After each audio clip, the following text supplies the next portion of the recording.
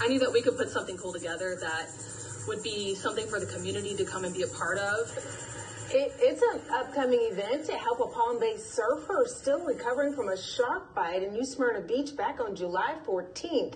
Chris Pospisil was surfing with friends when he was bitten and pulled from his board.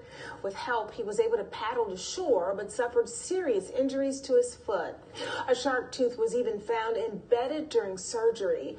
He has racked up medical expenses and hasn't been able to work for the past few months. It's definitely been a wild ride. It's been a lot of ups and downs, but I think I feel like I'm in good hands with my family and friends, and I've had a lot of support from the whole community.